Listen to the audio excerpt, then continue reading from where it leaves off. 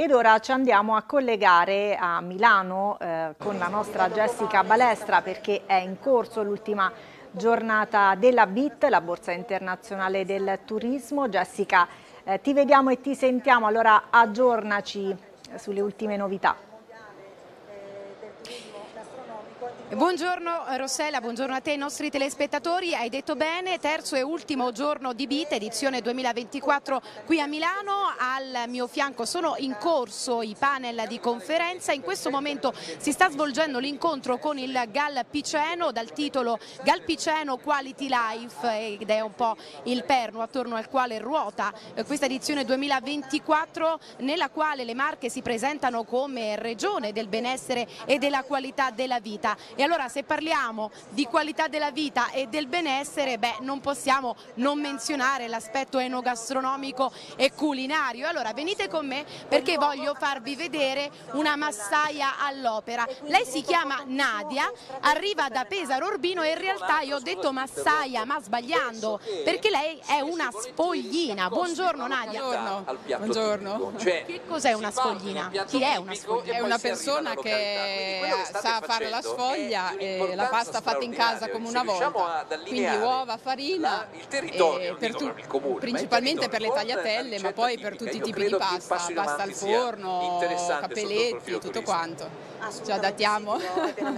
Ricetta antica, rivisitata? No, antica, antica, quindi un uovo, un uovo e un etto di farina, e la base e poi ecco... E poi olio di gomito. Eh, esatto, voglia di lavorare e divertirsi e, metterci la passione perché più passione uno ci mette più poi anche magari benvengono anche rivisitazioni no? Dice, anche... come li condiamo questa pasta? fagioli, ricetta tipica pesarese con i fagioli eh, di quelle che da Pesaro. Sì. che possono poi Pesaro, Novilara, che poi facciamo questa festa a luglio e a base ecco, di, di, delle tagliatelle il piatto principe. La, um, Nadia la lasciamo al suo lavoro mm. e come vedete, come vedi Rossella, Pesaro è anche la capitale del gusto oltre che capitale eh, italiana della cultura per questo 2024 noi continuiamo a vedere la nostra sfoglina Nadia al lavoro e tra poco sarà il momento della presentazione invece della nuova guida turistica di Cupra Marittima. Ve lo abbiamo raccontato anche quest'oggi nel corso della nostra trasmissione di Vera Mattina. Proviamo ad intercettare il sindaco Alessio Piersimoni che vedo assorto nella lettura della nuova guida eccola qui presentiamola caro sindaco benvenuto, siamo in diretta col TG, in anteprima ai nostri telespettatori. Eccola, buongiorno a tutti, quindi regaliamo questa anteprima allora. Siamo venuti alla BIT quest'anno con un obiettivo in più che era quello di presentare una nuova brochure che fosse in grado di eh, raccogliere gli aspetti principali del, delle peculiarità del nostro paese, cosa il nostro territorio può dare in più un valore aggiunto. C'è anche il brand che richiama la Dea Cupra e ci sono all'interno tutte le caratteristiche dalle, dalle bandiere eh, ottenute, dalle immagini bellissime del nostro paese.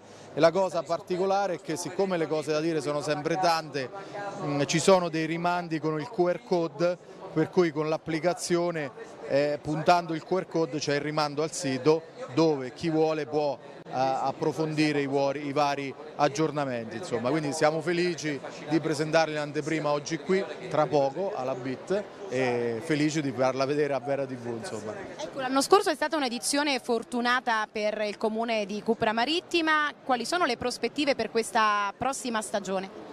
Noi stiamo lavorando sul, da un po' di anni sia sulla destagionalizzazione sia sul farci conoscere sempre di più grazie anche alla collaborazione con le tante associazioni, la Proloco, l'Acot, i balneari e, quello di dare l'accoglienza, quindi cercare di dare eventi, intrattenimento per cittadini e turisti su un periodo dell'anno che sia il più lungo possibile. Quest'anno inizieremo col triathlon il 28 aprile, poi ci sarà la, la, la, fiera di maggio, insomma cerchiamo di eh, proporre degli avvenimenti di rilievo, di richiamo in periodi lontani da quella che è la stagione tipica. L'anno scorso è andata bene perché a fronte di un, eh, vacanze sempre più corte per il caro vita, per quello che sappiamo, però sono aumentati gli arrivi, quindi nuove persone hanno deciso di venire a Cupra Marittima e speriamo di mantenere sempre. Più italiani o più stranieri? Eh, sono più italiani, però cresce in maniera importante il numero degli stranieri. Ringraziamo allora il sindaco di Cupra Marittima Alessio Piersimoni, i dati che ci ha appena comunicato sono quindi in linea con quelli diramati qualche giorno fa dall'Osservatorio regionale per il turismo che ci raccontava appunto di un aumento degli arrivi e del boom soprattutto degli stranieri che nel 2023 hanno fatto registrare un incremento del 12%. Per il momento, ma solo per il momento è tutto, Rossella ti restituisco la linea, noi continueremo ad ascoltare i vari panel e poi ve ne daremo contezza nel corso delle prossime edizioni del nostro notiziario. Grazie a te Jessica Balestra. Noi